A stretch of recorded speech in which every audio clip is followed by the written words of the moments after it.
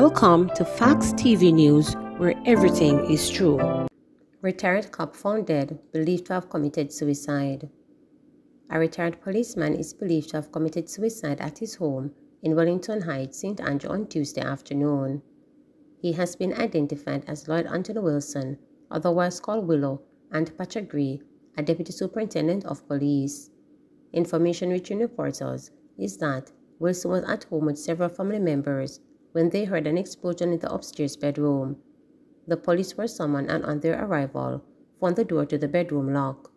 The door was kicked off and the officers entered the room and went through the closet into the bathroom where they found Wilson clad in a gray t-shirt and blue underwear with what appeared to be a gunshot wound to the center of the forehead.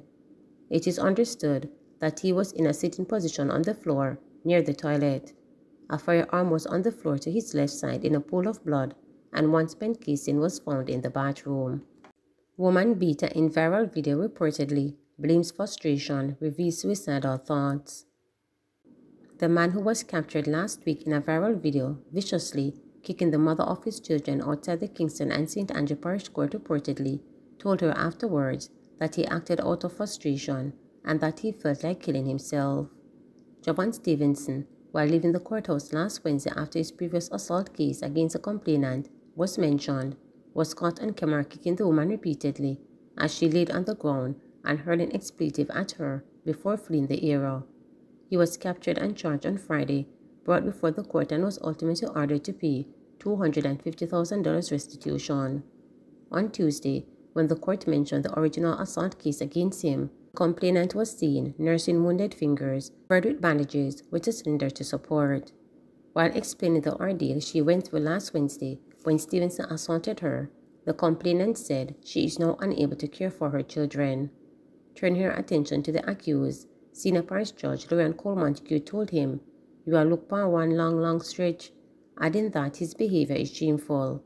Turning her attention back to the complainant, Cole asked her if Stevenson had attempted to interfere with her since the incident, to which she revealed that following the attack on Wednesday, Stevenson called her and said he did it out of frustration.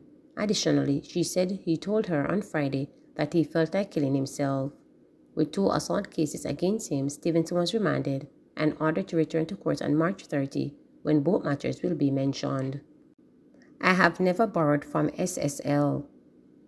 Prime Minister Andrew Holness said he is no longer a client of Stocks and Security Limited SSL, having closed his account at the institution in 2021 and has never borrowed money from the fraud-hit brokerage firm.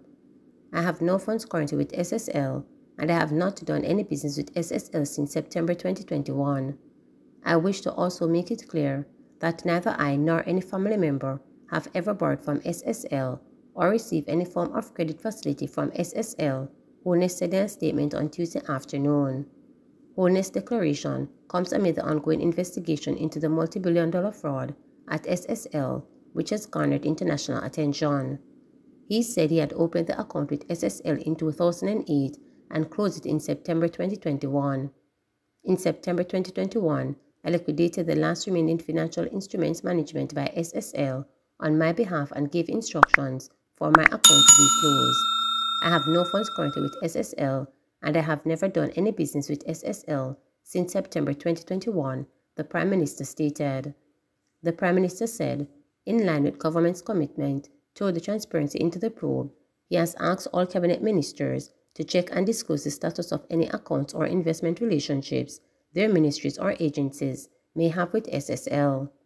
These current allegations of fraud at SSL and the international attention it has drawn to our financial sector requires a commitment to the highest level of transparency, probability, and accountability, Holness stated. The public must be assured that the political class has no conflict of interest that would prevent, delay, or dilute efforts to ensure that the truth of the allegations is uncovered. Those responsible are held to account and the victims receive justice.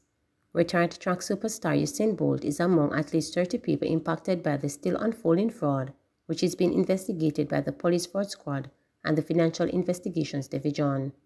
Attorneys representing the Olympian have indicated that US 12.7 million, or nearly 2 billion, has been fleeced from Bolt's account. They have given the management of SSL until January 27 to pay over the stated sum or face legal action. Former MP Ian Hayles wired referred to police over Hanover building bridges. Former Member of Parliament for Hanover Western Ian Hayles and his wife, Charlotte Alexander Hayles, have been referred to the Commissioner of Police by the former Office of the Contractor General OCG for further investigations. Specifically, the OCG has asked the Commissioner to determine whether Hayles and his wife committed forgery in relation to buildings that were constructed in Hanover without the approval of the Hanover Parish Council HPC and whether Hayles, the former People's National Party MP, breached the Corruption Prevention Act. This is in relation to allegations that Hayles pressured and then the mayor of Lucea, Shernett Haughton, in his bid to get her to approve documents for his illegal constructions. The long-awaited report of the OCG, which has since been subsumed by the Integrity Commission, was tabled in the Parliament on Tuesday. The contents within it, 232 pages, are as explosive as they are damning. The special report which looked into allegations of conflict of interest, irregularities, and or inappropriate of relation to the construction of building by his, a former Minister of State in the Ministry of Water, Land Environment and Climate Change, comments on April 24, 2015. Among the allegations that sparked the investigations are that family members of Hayles, namely his wife and her daughter, Keisha Gale Alexander, and his mother Pauline Gray, operate the company Just One Service, which undertook the development of a plaza in Orange Bay, Hanover without approval. The allegation further stated that his and his family members constructed a plaza at Orange Bay Square in Hanover with documents submitted to the Hanover Parish Council for another place, which is Mount Pleasant in Santoy. The former mayor alleged that sometime between January or February of 2014, he has called me on the office phone at my office at the Hanover Parish Council and said he had some documents at the Hanover Parish Council and he wanted me to grant him a favor. He asked me to sign and stamp the documents. I asked what documents they were and he informed me that they were documents for his land and plaza in Hanover. Mr. Michael Grant, the spouse of Miss Haughton, alleged that an hour before January 2014, he telephoned him and stated that he had requested that Miss Haughton sign certain document which she refused to sign, and that she cannot stay there as a mayor because she is not working with me.